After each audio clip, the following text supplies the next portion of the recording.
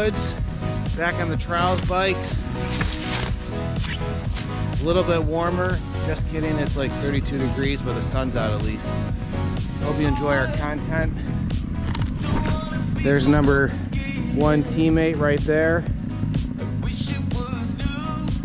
Enjoy the video.